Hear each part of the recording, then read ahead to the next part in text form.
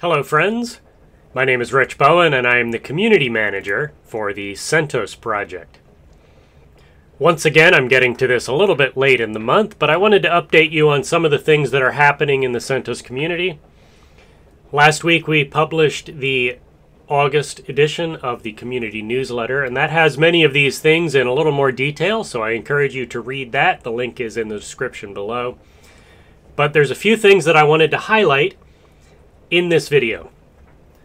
The first of these, and you'll be hearing this consistently over the next few months, I want to make sure that everyone is aware that CentOS Linux 8 is scheduled for end of life in December.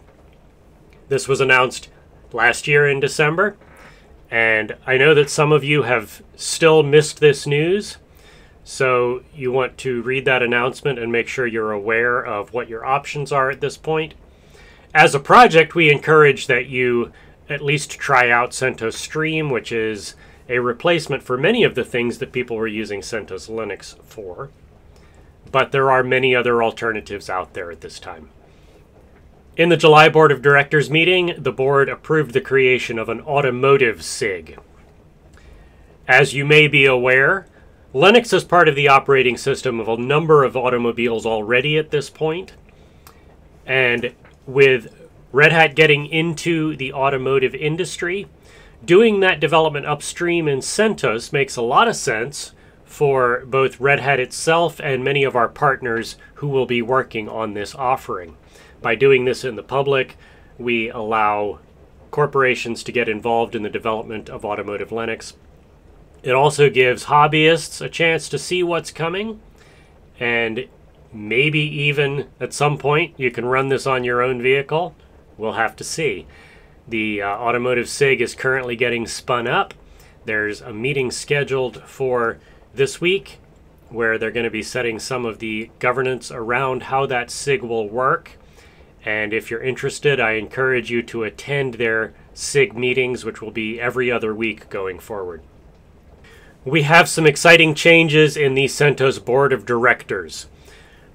The change that affects you most directly is that as of the August Board of Directors meeting, these meetings are now completely public. If you're interested in attending a Board of Directors meeting, you can watch on the CentOS Devel mailing list for the invitations and sign up to get the information of how to join.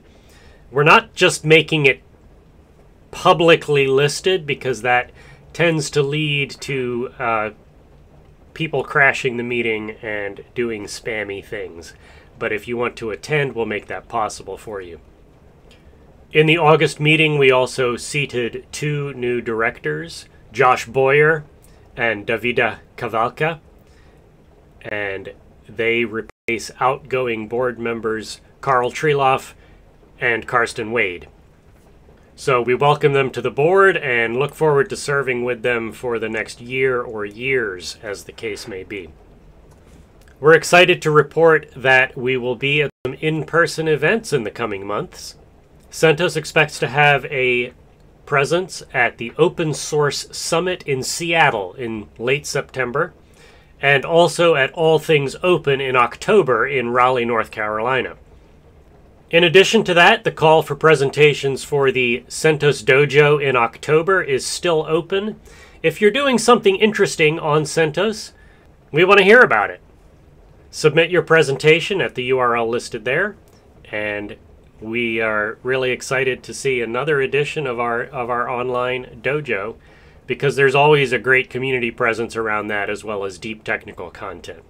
As usual, the newsletter contains reports from various of our special interest groups.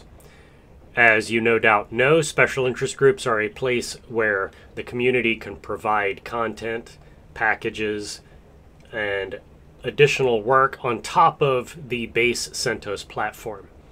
So if you're interested in working on any of these, I encourage you to read their reports and attend their weekly or monthly meetings. There's also a number of news articles listed in the newsletter that highlight some of the things that are happening around the CentOS community from an external perspective.